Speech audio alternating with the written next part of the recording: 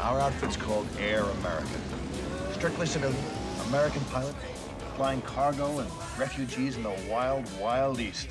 There are no American combat troops in, in Laos. Plan on crashing any more airplanes on the runway today? Uh, not today. Nope, that's good.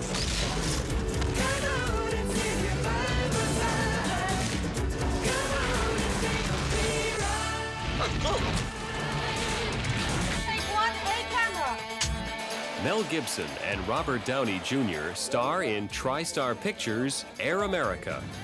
They're two adrenaline cowboys hired as civilian pilots for the CIA's not so secret airline. In 1969, Air America was one of the largest airlines in the world.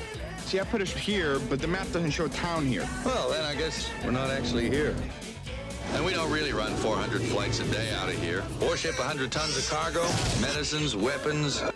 Gene is like um, one of those mercenary kind of people. He goes from conflict to conflict because there's a dollar in it and he knows how to fly. And he's hooked on it, I guess, by this time. So why don't you go home? Hmm? I, look at me, look at Neely, the rest of us, we're all a bunch of trouble junkies. We've been mainlining danger and adrenaline for so long, nothing else gets us off. It's kind of sick. Quit before you pick up the habit, and you will. You'll pick up the habit. You'll get to like it. Last year I said um, to my agent, kind of jokingly, after I'd seen uh, Lethal Weapon or something, I said, yeah, uh, by the way, uh, get me a movie with Mel Gibson. Bye. And, uh, and so he did. Where are you coming from?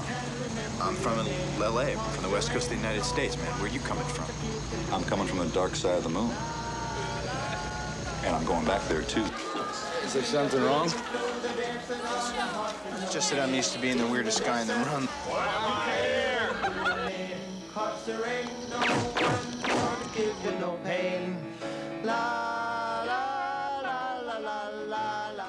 United States Senator in my backyard on a damn fact-finding mission, no less. He's not gonna find out any facts, I promise.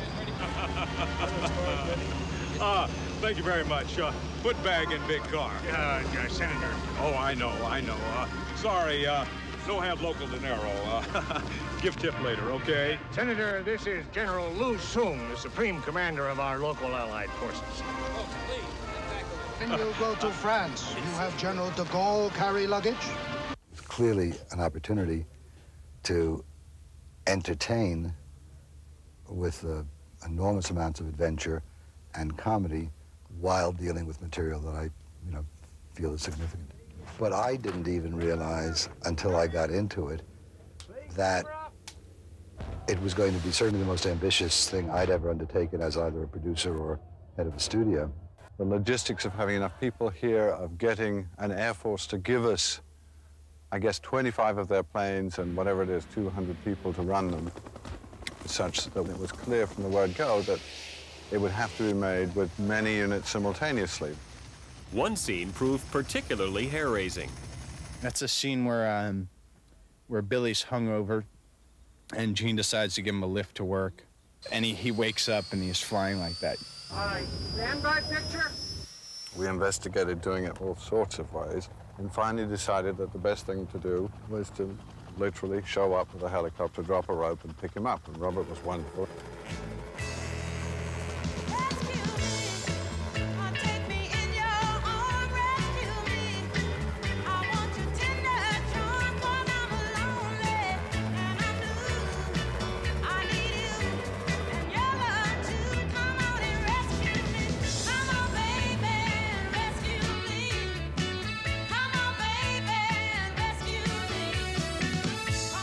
Keep your hands off the wheel. We knows what happens when you fly.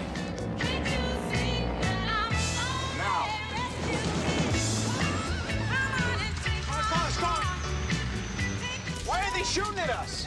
Because they're unfriendly. Why is everyone so unfriendly? Well, they haven't gotten to know us yet. I don't want to crash twice in one day. Don't worry. I crash better than anyone I know. Oh!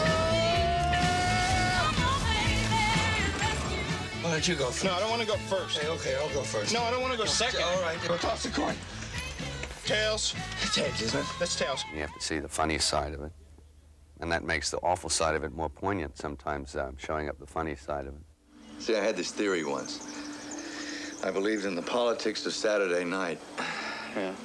I rated all governments and countries by how good or bad their Saturday nights were, and I, I knew that Moscow and Peking had to be a stone drag at that time of the week. So I was flying for a cause. Anything, anywhere, anytime. That's our motto. Well, it would be. If we actually existed. That's right. But we don't.